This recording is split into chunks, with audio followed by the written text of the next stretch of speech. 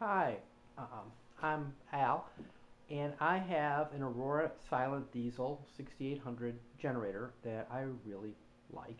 It's a good generator. It's a compromise. It's a high-speed generator. You get what you pay for, but I'd say it's a good. It's been a good value for the last like five years or so. It's been giving me a little bit of difficulty starting lately, and typically, yeah, at the critical time. And because it's an early production unit, one of its shortcomings is you can't get to everything you need. So this is a video documentation of my project of making a minor, let's say, uh, cosmetic modification to the case so I can get this stuff. So I'm going to kind of narrate this and it'll be in parts as I perform each step. So here we go. There it is in all its glory. There's our silent diesel. And one of the things um, what's happening is when she's cranking it gets to top dead center no matter what, she's stalling. It very well could be the starter, but I don't want it to be the starter because then I have to buy a new one. I've worked on generators before, and one of the first things I've always done when you have a little difficulty starting is you open the compression release. You can't get to the compression release on this one. The compression release is on the top of the engine, and what we have on the top of the engine is a solid plate. Um, in later production models, Aurora, I think, realized the shortcoming there, and they put a hatch here that you could open to get to the top of the block. I'm preparing to cut my own hole. Uh, it's not a warranty issue anymore. So let's look down here. One of the first things I'm doing is I removed the side panel from the right hand side. It actually comes off very easily. It's just got a few bolts. Take that puppy off get it out of the way. Next thing, take off the air filter and get it out of the way. And now we're going to kind of slide inside here. And I'm going to show you what I'm up against. First of all, what I want to get to. See that red handle there? That's the compression release. There's also an oiler thingy I can't see in there that the manual says do this if you're having a difficult time. Well, I can't. But I want to be able to do that to release the compression and get the flywheel turning to help me get it started. So I can't just whack a hole above it. There's for a reason. You probably remember we have a D-ring for lifting it there, a hook, and I need that for moving this thing.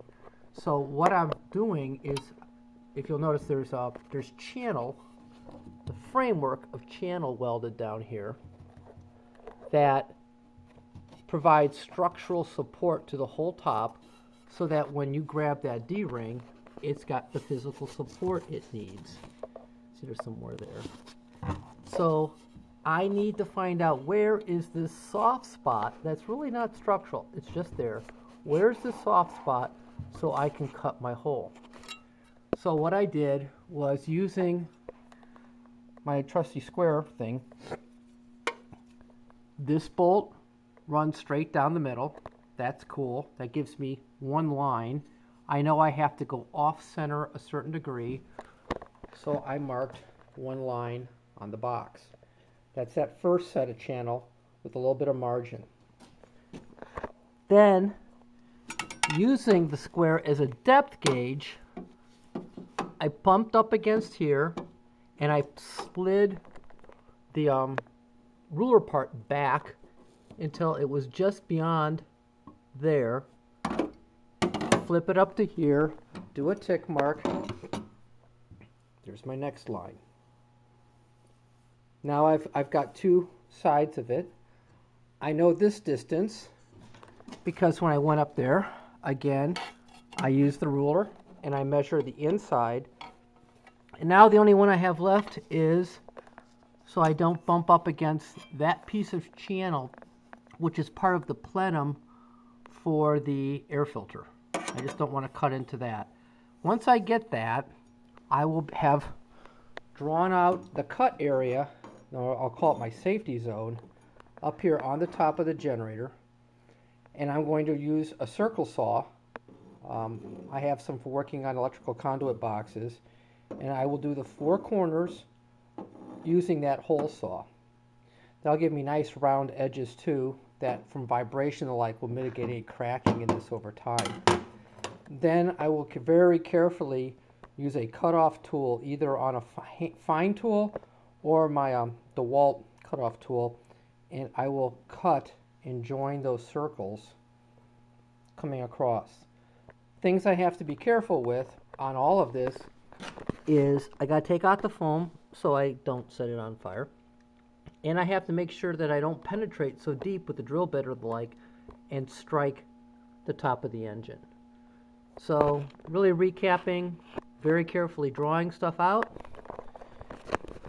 uh, making it so I can put my hand in there and just when I'm cranking, open the cover, I'll put a hinge on it, open the cover, do the compression release, crank it, get a good spin, put the compression release back. Life is good, the generator starts. If this doesn't work, I'll still end up changing the starter, but I'll have a feature that will benefit me of a feature of a later production model that just never got put back into mine. And I'll have another bell and whistle. It'll make it easier to maintain the generator. Um, I do want to say, other than that, it's been a very good deal. We've had power outages running six to eight hours and carries really majority of the load of the house very well. It is a high-speed generator. It has some distortion issues that my electronics don't like, but I got running water, I got lights, uh, I can run the microwave, I got refrigeration. Uh, I really don't have anything to complain about. So, and it's quiet. I will say it's quiet. Um, before I close, I'll just point out one thing here. I did weld up a uh, a, a good exhaust thimble going through the outside wall, and it does jack it with a. Uh, actually, that PVC that um, conduit fitting works very well for a slip. Uh, it's gas tight enough um, because it's a very ventilated garage. So I get rid of all my exhaust that way. And it has worked out very well. All the joints of the wall are very heavily insulated with uh, fiberglass to uh, prevent any fire mitigation.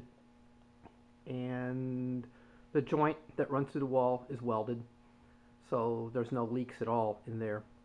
It's been a good deal. I also put a maintenance charger on it. Maintenance charger has done a very good job uh, keeping the battery up because when you want to turn it on, you want it to work. I regret being an early production model, this does not have a hot start, and there's really no way to put a block heater in here. Um, I'm kind of used to a preheated engine, but it's air cooled, so what do you know? But it's going to be a big difference to me when I can put my hand in there and at least get to the compression release. So that's the project, and uh, I'll update later.